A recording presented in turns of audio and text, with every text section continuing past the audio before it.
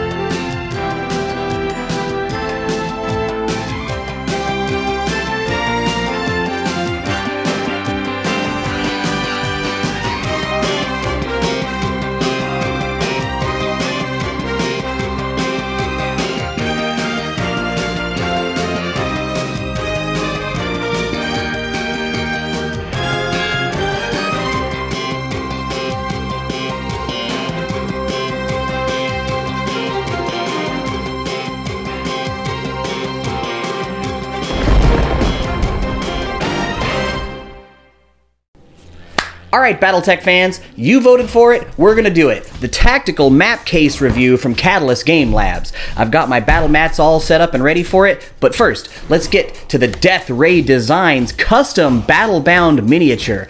Now, folks, I know that there's a lot of you out there who's been asking, so what are the stats on this thing? Can I play this on the tabletop? And the answer is yes, you can. And not only are we to unbox it, I'm to put the stats up here on the screen for you before the end of this video so you can see exactly what you can do with this piece of machinery. Now before we get into it, I wanted to say that the design on this particular machine when I was coming up with it is a Solaris 7 dueling mech. This isn't the type of mech you take out on a campaign. This isn't the type you want to go fight all the clanners with. This is you drop out of the pod into the Solaris 7 stables and all you want to do is chew through the enemy.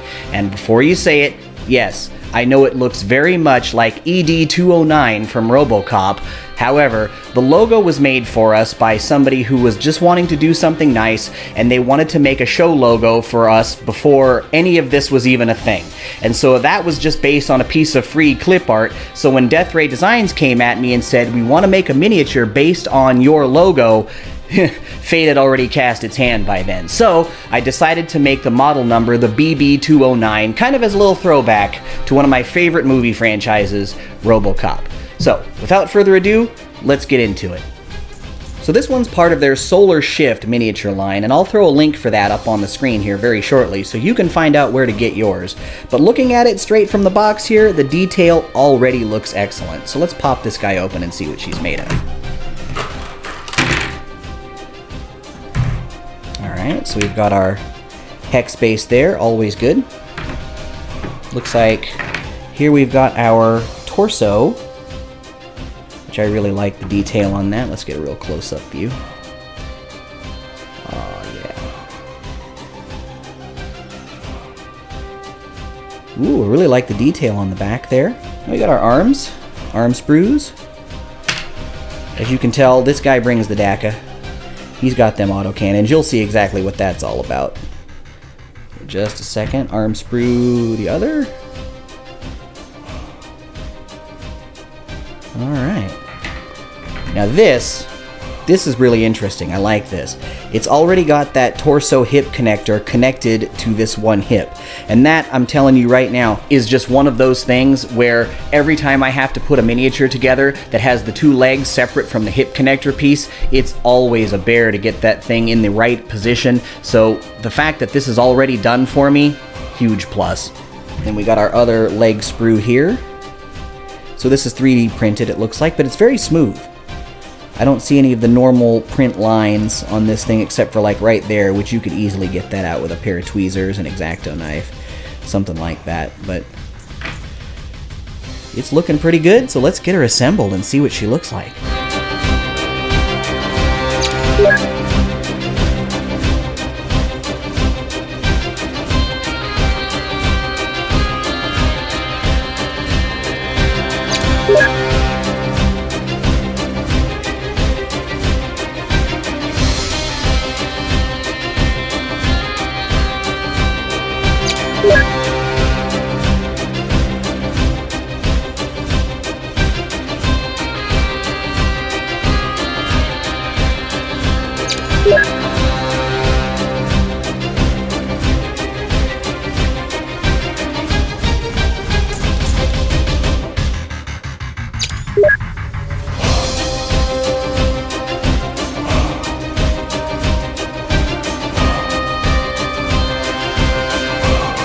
So thank you so much. If you like it, please let me know. Tell me any adventures that you have with it. Tell me any victories that you win with it. I would love to hear your stories.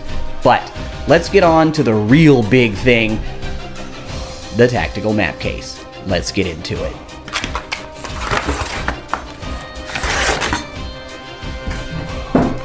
All right. Right out of the box, I'm already a fan of the shoulder strap. That sucker on there. There we are. Put that down there. Here we are. All right, very cool. Oh, and it's a screw top lid, so won't have to worry about it just going boom, popping off on you. Got a little bit of a filler in there, so let's see if we can't get it out. So it's kind of interesting. It comes with this little mason jar looking thing on the inside, and there's a screw top lid on it. So I'm more inclined to think that this was not filler, that this was a purposeful addition to this particular tube. And I didn't do too much reading on it, so maybe there's some obvious detail that I'm missing there, but you could put some dice in here, you could put some counters in here. Heck, you could even put some tissue paper if you didn't have any miniature cases, and you could throw a couple of miniatures in there, and then you'd have that along with your battle mats. So so, all right, very cool. Now the test. Can it fit? I've got my two big Strana Mechty battle mats here. These are the bigger ones of all the other ones I've seen, at least ways it feels like it to me. So if I'm wrong, so sue me, but they feel bigger than the standard battle mat. So I'm really gonna put this thing to the test and use the two biggest ones I have. So let's see how she fits.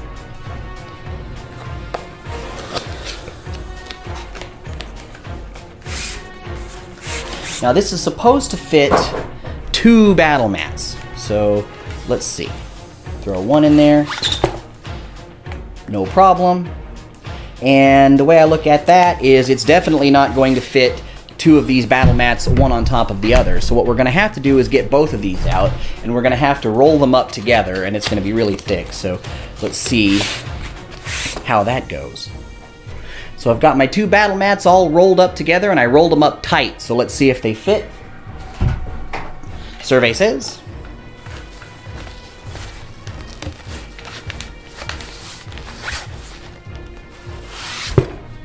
All right, that's the sound we were looking for.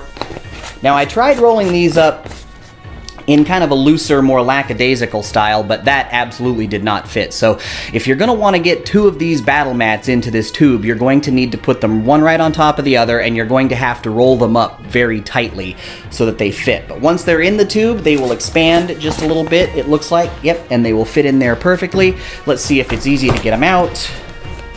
Oh yeah, and they just pop right out. So, very cool. So all in all, I'm gonna have to give the tactical map case the old fire in the hole five stars because it functions as intended. It comes with a little bit of extra storage in case you need it. It looks really cool on the outside. It's got the shoulder strap. It's got the screw-on lid. I think when you roll into your friendly local game shop with this guy on your back, you're instantly going to be Mr. Blue Skies. You're going to whip out your battle mats and it's going to be super cool. So I highly recommend purchasing one of these if you have several battle mats and that's your preferred play style. It's absolutely going to work out for you. I'll throw down the price here at the bottom of the screen. For the money, I feel like the value is good. You know, it's hard plastic. You got, you know, your nylon shoulder strap there, a couple of clasps. So I definitely feel like the value for the money is, you know, spot on, five stars. I'd give this one a, you know, two thumbs up. You want to grab it? Grab it. Thank you so much for voting on this one. Remember, folks, we do have a Patreon. I'll put the link right down at the bottom of the screen. Please consider signing up for the Patreon, folks. It does help the show, and it helps me create more honest, fair, and balanced reviews, just like this one, for Battletech fans like yourselves, to make sure that you get the most bang for your buck every time you hit up something online to buy a product or every time you go into the store. And remember, folks, if you liked what you've seen so far, do me a big favor. Like the video, comment on the video, subscribe for more videos like this one. All of this engagement, folks, does nothing but boost our numbers and sends these videos out via the algorithm to more Battletech fans just like yourselves. And remember, please share this video with anybody that you think it might be relevant to. Otherwise, I'm Tuck Davian, I have been your host, and we're looking forward to seeing you next time out on the space lanes. Hmm, your ideas are intriguing to me, and I wish to subscribe to your newsletter. Crowdfunding is when lots of people give you small amounts of money to help your passion project come to life.